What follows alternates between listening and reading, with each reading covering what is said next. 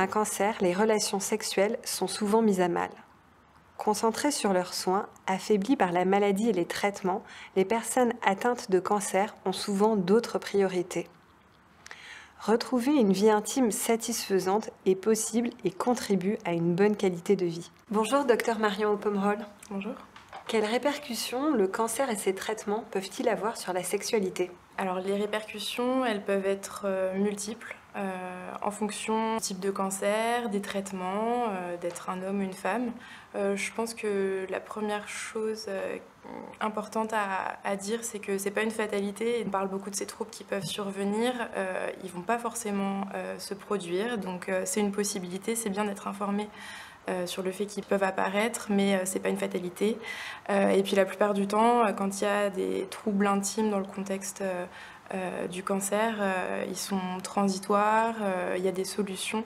Je trouve que ça, c'est important de le rappeler. Et alors, les troubles qu'il peut y avoir, si on devait faire un peu deux catégories, je dirais qu'il y a des troubles psychologiques et des troubles plutôt physiques, enfin, de par l'impact psychologique et physique du cancer et de ses traitements. D'abord, sur le côté psychologique, le cancer, ben, c'est un choc. L'annonce de la maladie, le fait d'avoir peur pour sa vie, euh, éventuellement peur ensuite euh, de rechuter, les changements que ça peut euh, entraîner, par exemple quand on est en couple, dans le couple, passer du statut de partenaire à aider, de conjoint ou conjointe à aidant. et puis dans la famille, la position, elle peut être un petit peu changée dans la société, on n'a plus forcément son travail, enfin, il y a plein d'impacts comme ça, et tout ça, ça peut jouer sur la confiance en soi, sur l'intimité, de plein de façons.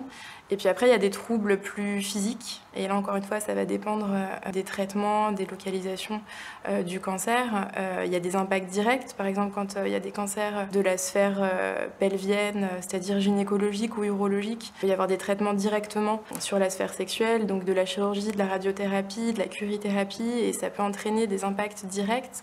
Et puis après, il y a des, des effets indirects de nos traitements avec la fatigue induite par tous nos traitements, euh, des effets plus généraux comme les nausées ou les bouffées de chaleur et tout ça, bah, c'est pareil, ça impacte l'intimité. Tous les impacts aussi de nos traitements comme euh, la ménopause précoce chez la femme ou euh, les traitements par hormonothérapie qu'on peut donner à l'homme ou à la femme qui vont entraîner par exemple de la perte de cheveux chez la femme et donc impacter la féminité, des modifications des poils chez l'homme et, toucher aussi à la virilité.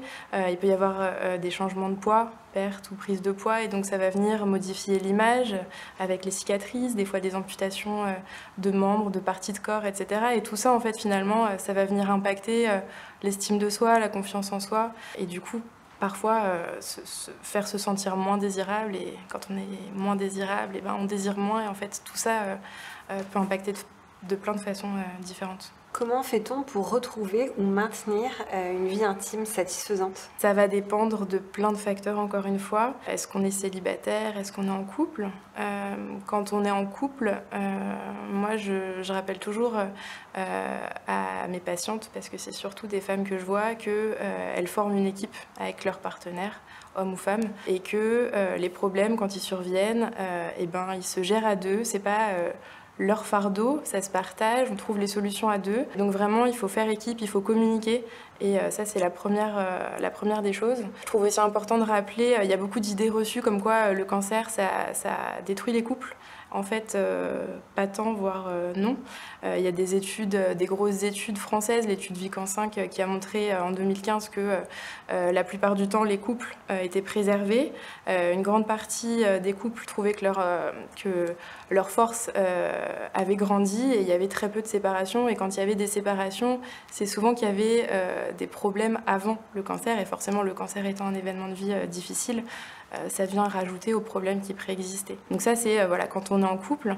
Euh, et puis après, pour gérer ces problématiques intimes, tout va dépendre de la temporalité de chacun et de chacune, de où est-ce qu'on en est dans ces traitements, parce que les besoins en termes d'intimité évoluent au fur et à mesure des traitements au moment du diagnostic et des traitements lourds comme de la chimio, de la chirurgie, les besoins d'intimité, ils peuvent relever plus de tout ce qui est tendresse, affection, passer des moments avec l'autre quand on est en couple. Ça peut évoluer au fur et à mesure du temps pour retrouver une intimité un, peu plus physique et comme on l'entend avec des rapports sexuels, avec de la pénétration, tout ça. Enfin, les besoins vont vraiment être enfin, vont évoluer au fur et à mesure, euh, je pense, de la prise en charge, de où est-ce qu'on en est, de plus on s'écarte du, diagnostic, plus on retrouve une vie un peu plus normale et plus on repart dans une sexualité euh, un peu plus comme avant.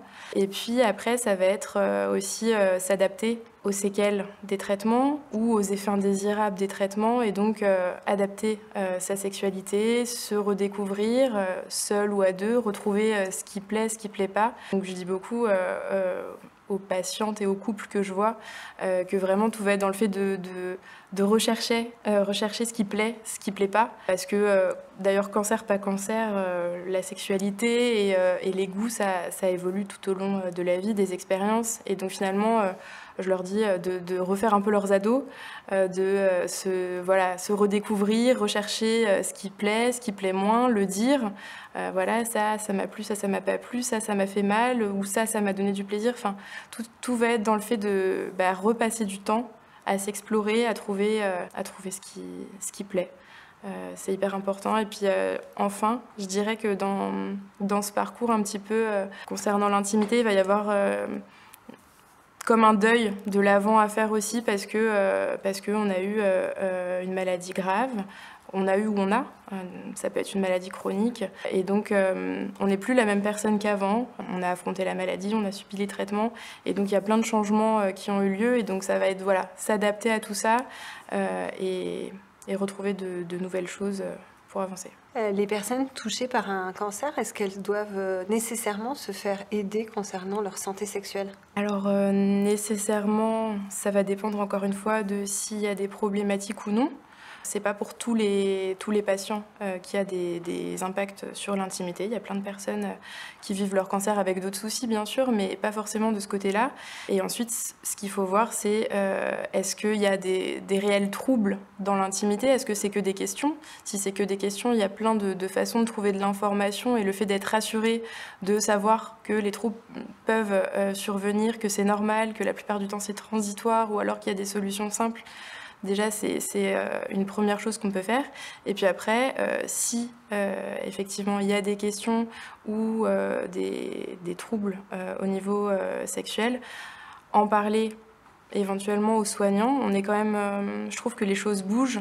on est de plus en plus au fait euh, que la santé sexuelle, c'est important de s'en occuper, ça fait partie, euh, comme son nom l'indique, de la santé. Et donc, euh, au même titre que l'oncopsychologie, la prise en charge de la douleur, c'est important d'avoir une prise en charge de cette santé sexuelle. Donc, les soignants sont de plus en plus au courant. La question derrière, c'est savoir s'ils sont à l'aise ou pas euh, pour gérer la chose, et puis même si euh, le patient ou la patiente euh, est à l'aise pour aborder le sujet, parce qu'il faut aussi, comme c'est quelque chose de très intime, se sentir bien avec la personne avec qui on en parle. Donc je dirais que s'il y a une problématique ou des questions, en parler avec les personnes avec qui on est à l'aise, qui, elles, en fonction de elles aussi leur rapport avec ce sujet-là, pourront soit donner des solutions parce qu'il y a plein de solutions simples euh, qui peuvent être données par des professionnels non formés, soit si elles ne se sentent pas à l'aise euh, avec le sujet, bah, réadresser euh, vers des personnes plus formées ou éventuellement aller jusqu'à une consultation de, sexologie. mais tout va dépendre vraiment de la plainte et de la demande. Et justement, qu'est-ce que vous diriez à une patiente ou à un patient qui en éprouve le besoin mais qui n'ose pas franchir la porte d'une consultation en santé sexuelle? Dirais qu'il faut qu'il prenne son temps. S'il n'est pas à l'aise, on ne pourra pas aborder les choses bien. Ce qui est bien, c'est de savoir un peu à quoi s'attendre finalement. Donc comment se passe la consultation? Peut-être euh, ça peut un petit peu euh, déstresser et donc euh, faire plus consulter. c'est des consultations vraiment où on est soit la personne et moi, soit avec le, le ou la partenaire aussi. Euh, et où on aborde cette problématique. Éventuellement, S'il y a besoin, je peux aussi, comme je suis médecin, examiner s'il y a des troubles aussi plus physiques pour voir s'il y a des solutions déjà à apporter qui, soient, qui soient simples. Puis derrière, c'est toute une discussion sur cette problématique, essayer de trouver des solutions ensemble. moi, je propose aussi pas mal de ressources, des fois, ne serait-ce que des lectures ou écouter des podcasts. Enfin, il y a plein de choses maintenant à notre disposition pour aider. Finalement, en fait, c'est venir chercher de l'information parce que la plupart du temps, euh, c'est pas des pas des gros troubles et c'est pas des grosses problématiques et il y a des solutions simples et ne serait-ce que savoir que c'est normal, que ça peut arriver euh, et que euh, la plupart du temps, ça va bien se terminer, c'est déjà hyper rassurant. Donc voilà, si, si la question se pose, je dirais venez, mais venez quand vous êtes prêt et voilà. Docteur Marion Oppenroll, vous êtes gynécologue spécialisée en santé sexuelle. Pourquoi avoir fait euh, ce choix de la sexologie? Je dirais que même en tant que gynécologue, euh, je ne me sentais pas forcément armée euh, à répondre à cette problématique intime. On est un peu les médecins du sexe euh, côté femme, mais finalement euh, c'est très mécanique. Euh, on sait gérer le corps, mais toute cette problématique intime et sexuelle, on n'est pas trop formé. Et donc je me suis souvent retrouvée dans des situations où je ne savais pas vraiment répondre aux femmes, et notamment quand j'étais interne et que je suis passée à Gustave Roussy, où les patientes me posaient des questions qui me mettaient en difficulté. Je me suis dit, mais vraiment, il y a quelque chose à faire, il faut, enfin, il faut que je puisse bah, aider ces femmes. Et donc, euh, je me suis formée et je me forme encore pour essayer d'allier euh, le côté gynéco et, et sexo. Vous m'aviez confié lors d'une discussion que vous appreniez et vous vous formiez auprès de vos patientes et patients. Est-ce que vous pouvez nous partager ça? Je pense que au fur et à mesure des consultations, des rencontres que je fais, j'apprends plein de choses. Ma pratique, elle est plus du tout la même aujourd'hui qu'elle l'était il y a un peu plus d'un an quand euh, j'ai commencé cette consultation. Il y a beaucoup de partage d'expériences. Euh, la sexologie, euh, c'est pas une science exacte. Enfin, c'est vraiment propre à chacun. En tant que patient, en tant que professionnel, il y a autant de, je pense, sexologues que que de professionnels qui exercent la spécialité. Et donc finalement, on apprend avec nos expériences, avec nos patients, avec ce qu'on va chercher. Donc il y a une vraie, une vraie synergie entre moi, ce que je recherche, ce que les patients m'apportent. Là, je travaille euh, avec euh, une de mes patientes euh, sur le fait de créer un livret pour gérer les troubles gynécologiques et sexuels après la radiothérapie, la curithérapie. Et c'est vraiment la patiente qui m'apporte énormément de choses sur son expérience, sur son vécu. Et en fait, j'apprends tout le temps, tout le temps. Merci beaucoup, docteur Oppenroll. Merci.